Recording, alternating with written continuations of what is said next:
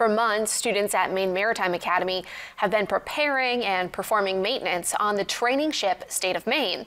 All their hard work is coming to fruition today as they head out to sea. Alyssa Thurlow has more from Castine. Very proud, very excited, a little nervous. It was an emotional Wednesday morning for families and friends of Maine Maritime Academy cadets boarding the state of Maine for a voyage which will last more than two months. Deborah Swinburne and her family made the trip from Cape Elizabeth as they said goodbye to her son, Owen.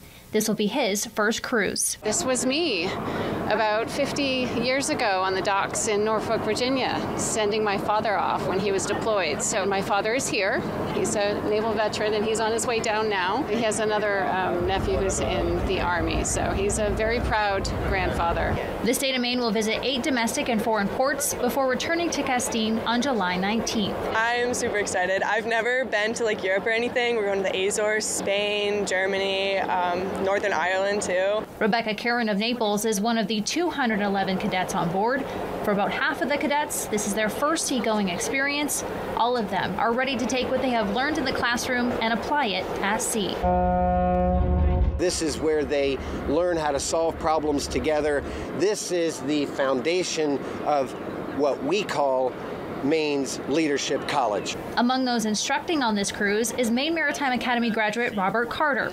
He was aboard the state of Maine's first tour as a student in 1997. All my good friends who I still talk to 26 years later are ones that I made here during my freshman cruise. So it's really about uh, you're making friends, uh, making good shipmates, and really being safe together. She's ready, and she's ready to help some of the freshmen and the younger students show what she knows.